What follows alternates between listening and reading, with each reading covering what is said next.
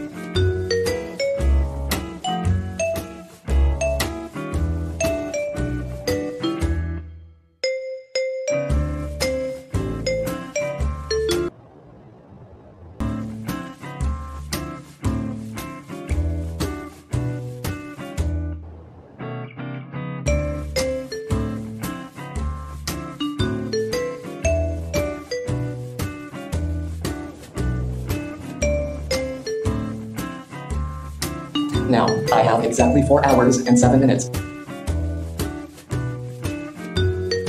Hello, everybody.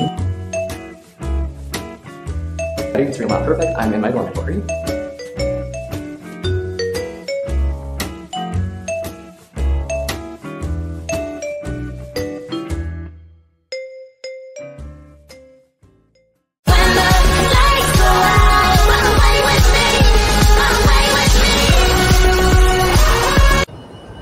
Hey, everybody. It's real not perfect. Cue the montage. Yes, you probably read it correctly. Roblox. Some of you have met me directly through Discord. Now, I met our epic friend Roblox back in 2021. Roughly, I think around August-ish, I think. Yes, I was that late to the entire platform. It's also possible I never would have even tried it if not for the, yes, you probably predicted it, the pandemic, and the subsequent lockdown. Here are my personal top 5 and worst 5 games, all based on my own experience. This is not based on popularity, this is based on unusual reasons. Coming in at number 5, Isolator. Frankly, this game gave me nightmares, but everyone knows I'm a fan of intentionally defying and rebelling against the things that I used to be afraid of as a child, and if you read my not even proofread web novel, you likely know that I have actual diagnosed PTSD. Isolator is a game where you wake up in an unknown place, you have one teammate, you rely on your teammate as much as they rely on you to escape the very unnerving, abandoned, scary, kinda spooky, empty, substances filled warehouse. I have seen worse places in real life. Number four, Vesteria. Alright, so many of you know I've straight up advertised for their game in the past. I own a tier 4 guild in this game. In Vesteria, you explore an extremely beautifully made world. You get to pick if you want to be a fast moving dagger person, a dude holding two things at once, or a funny person and a half. AKA, you choose from the hunter, the warrior, or the mage. All my videos are late uploads usually, so they might have the bard now, which is a new thing, and the um, the necromancer, shadow dancer, black panther, something. Yeah, I sometimes sing while I play this game, just because haters gonna hate. You team up with people, make friends, and laugh at trolls, or become one yourself. The game also kinda makes you advocate against illegal drugs because the game makes you destroy mushrooms, but then like you sell the mushrooms or you give them to someone, something like that. I don't really know. I play Roblox because it's funny. At number three, we have Evade. Two main reasons for this one. One, oh my goodness, it's hilarious. Even though I never recognize the memes and have to ask ChatGPT about them.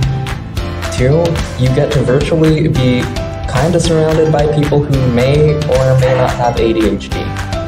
I mean, I may or may not have actual diagnosed PTSD, so, uh, yeah. At number two, work at a pizza place. I love, love, love, love, love this one. Why? Because it's different from my actual IRL physical job that I physically go to.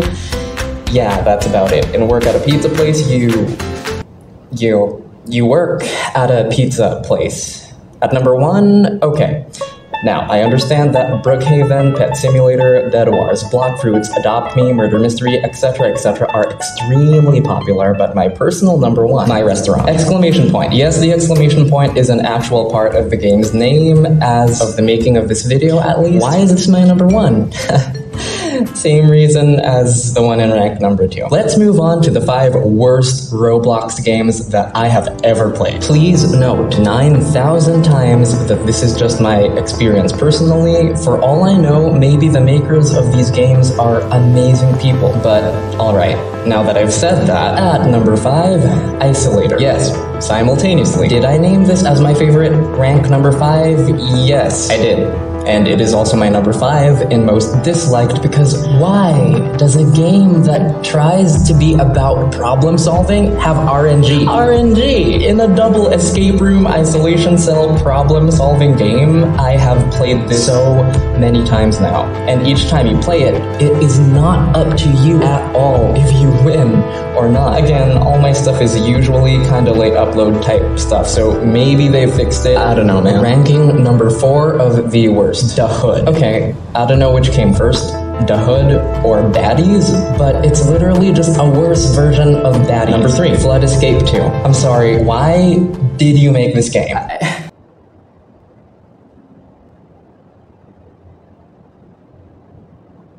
Okay, but like, why would you make a game like this?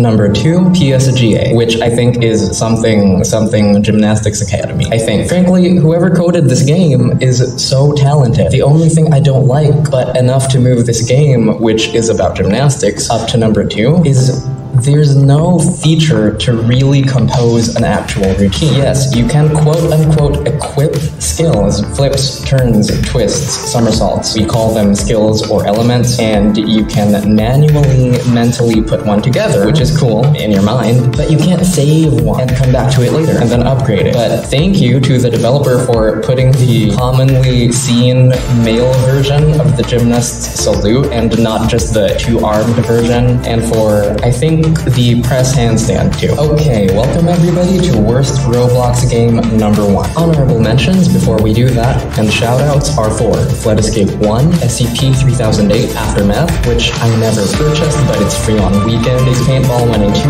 and The Sims, which literally isn't even a Roblox game, but I guess that counts as a shoutout. I want to thank my friends Gino and Jamie and Annette and Lila for making this video possible, each in their own ways. Now, do you remember how I said this wasn't a list based on popularity? That this was more experience based or for more unusual, in quotes, reasons? Well, guess what? This one game managed somehow to accomplish all the negative things in both of those areas. Say hello and simultaneously goodbye to the Lost Land. In addition to averaging a rating of anywhere from 60% to 70, and then I think maybe 78 on a good day, my reason for this as my number one worst is not what you'd think. I started playing this a few weeks ago. I clicked on it on a whim. Even though both images used to portray the game are horrible, I was impressed. I liked it. Beautiful scenery, cute trees, fruits, you can sell vegetables and strawberries and mangoes, cook food, which I can't do in real life, and enjoy the beach while simultaneously drinking banana juice. Yes, you guys, as of the making of this video, banana juice is a thing in the game. Damn, I love banana juice. But upon the release of the remastered, in quotes, version, two things happened. One, they charged money in the form of purchased Robux, which of course I didn't buy, from their loyal players. After a bit of profit, they made it free. But some people who were loyal and spent money felt cheated. That is still not my main story here. Reason two, and the bigger reason, in the remastered version, you select an artifact, or essentially some type of superpower. By some dumb magic, the game seemed to select one for me. You have a bunch of options, and it selected one on its own. I brought it up to the game's official staff via Discord. After supporting the game so much, so much, only to not only be treated by some of the staff rudely and passive aggressively and immaturely, but also for my entire support ticket to be just totally closed with no resolution. Only one member of the staff even remotely acknowledged that there was a problem. The person who had the power to do something, the power to do something at all, closed my ticket.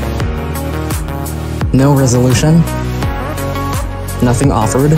It was only when, and I will repeat, only when I brought up the issue in front of everyone else that I got any kind of actual response.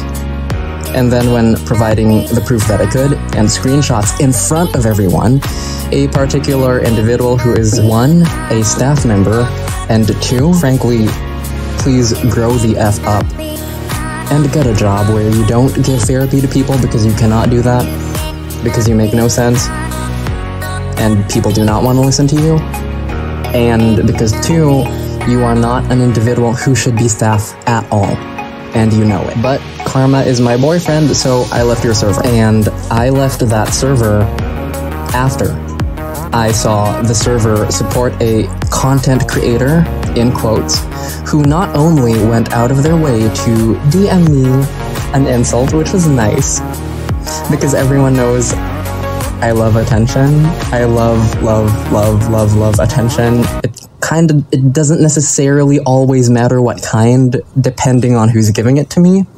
But that content creator used slavery as a selling concept to get more views on their TikTok videos. Yes, that's correct. They used slavery. I can't even say that word. They used slavery and literally hashtag slavery. I left their server because karma is a thing. I'm gonna go to the gym and do a bunch of flips for a half hour now. Bye. I'm just lighting a candle while you're worshiping nights. You speed into an end zone, you put up a good fight.